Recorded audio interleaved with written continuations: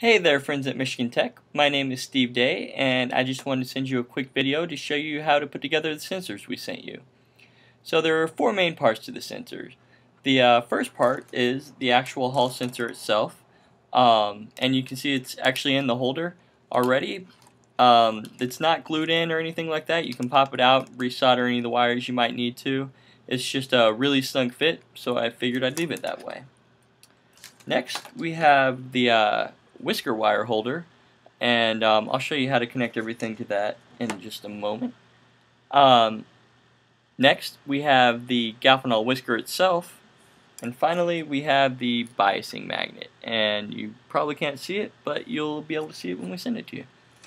Um, first thing you want to do is connect the whisker holder to the sensor holder. Uh, it's pretty straightforward. There are holes that match up and line up that you can just put right on top of each other. Um, you'll want the uh, nub to be on the uh, same side as the sensor. And all you have to do is take the screws that we will also send you and thread those in there. And uh, pardon the downtime while I thread them in myself.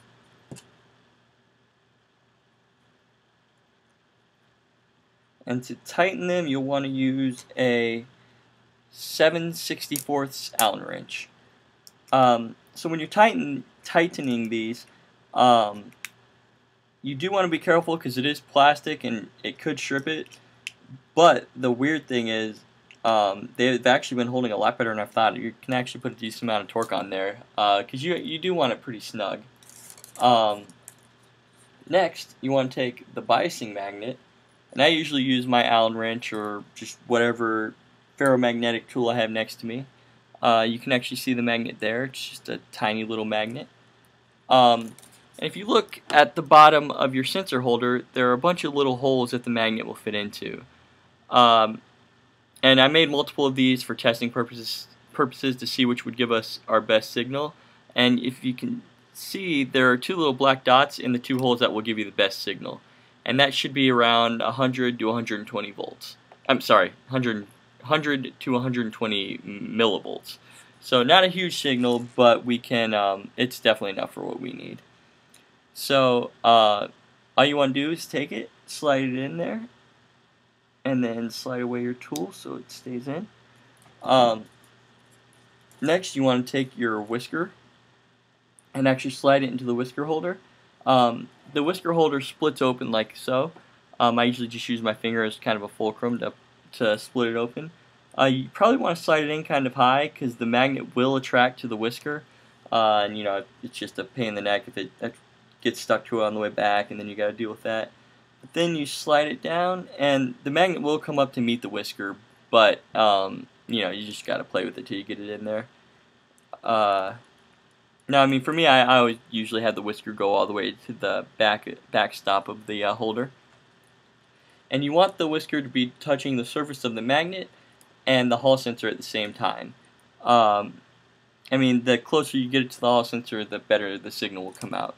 But, um, I mean, and it should be about to where you can't really see uh, a gap in between the Hall sensor and the whisker. So then, you want to take the last screw and just put it in the big hole in the knob. Once again, tighten it down. And this one you, you want tight as snug as well because it's going to hold the whisker wire in place while you're bending it. Um, yeah, like I said, those rivets are, or those threads are holding better than I thought. So, now you have three wires coming out.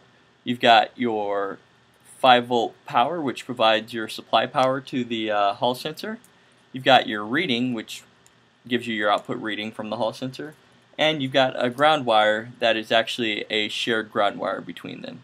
So once again, that color code is red was is our um, supply voltage, black is our reading voltage, and green is our ground.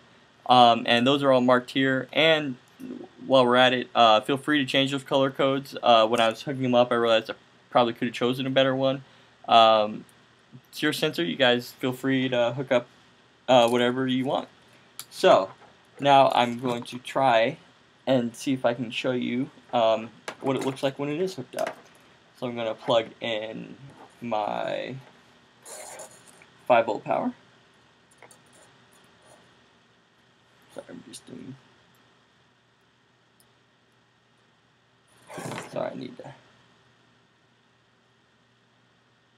Alrighty, my uh, ground.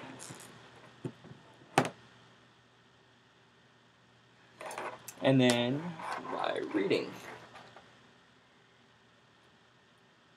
So I, I have this just running on a LabVIEW program, or uh, VI, and I can I'll send you guys the VI uh, in case you want it for testing purposes. Uh, realize you're probably going to write all your own stuff, uh, but this is what ours looks like for now. Um, okay, so as you can see, we have the uh, the signal coming through, and it's just on an auto scaling axis.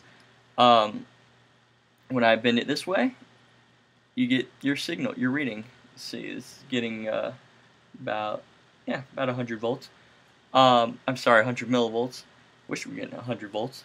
Um, so you will see things like hysteresis in the signal. It won't always come back to the last place it was at, but once again, for us, that's not a big deal. We're just wanting to know whether the whisker is moving, not necessarily if um, or we're not necessarily calibrating any flows or anything like that. So, that is the video, and hopefully that helps. If you guys have any questions, feel free to email us or call us at any time. And uh, we hope to see you soon. Bye-bye.